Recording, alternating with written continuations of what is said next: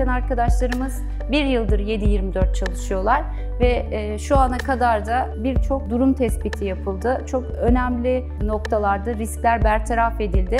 Aynı zamanda da yolcularımızın konforu daha keyifli bir seyahati için de ellerinden gelen her türlü desteği işletmemizle beraber sağlamaya çalışıyorlar. Dolayısıyla burası çok önemli. Aslında Metro İstanbul'un güvenlik beyin merkezi diyebiliriz.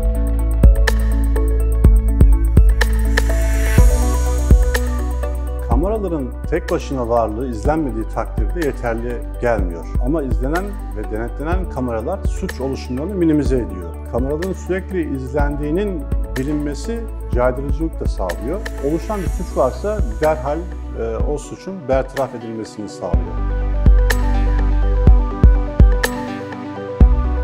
Biz gece daha güvenli bir yolculuğun tesisi için özel programlar hazırladık. Yolculuğu alanlarımızın daha çok izlendiği, başlarına herhangi olası bir şey geldiğinde direkt bizim müdahale ettirebileceğimiz bir izleme programımız var. Zaten istasyonda güvenlik görevlimiz görev yapıyor. Ama onların olmadığı alanlarda da biz varız. Ee, Onların sahanın üçüncü gözü gibiyiz.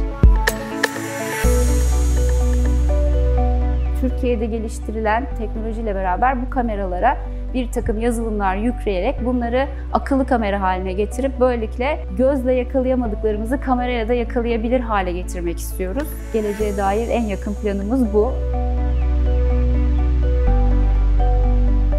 Babalarını kaybetmişler. Yaşlı birisi. Burada buluşacaklarmış yeni kapıda ama bir saat beklemişler, gelmemişler. İşte şüphelenmişler. Biz davet ettik. Buyurun dedik, beraber bakalım. Eşkalini verin, e, inceleyelim şeklinde. Bir yarım saat uğraştık. Bütün istasyonları tek tek taradık ve babalarını bulduk. Ve kendileri çok sevindiler e, ve bize çok teşekkür ettiler. Yani sizi işinizden alıkoyduk şeklinde. Biz onlara şu cümleyi söyledik. Hayır dedik, bizi işimizden alıkoymadınız, bizim işimiz zaten bu. Biz size yardımcı olmak için burada varız.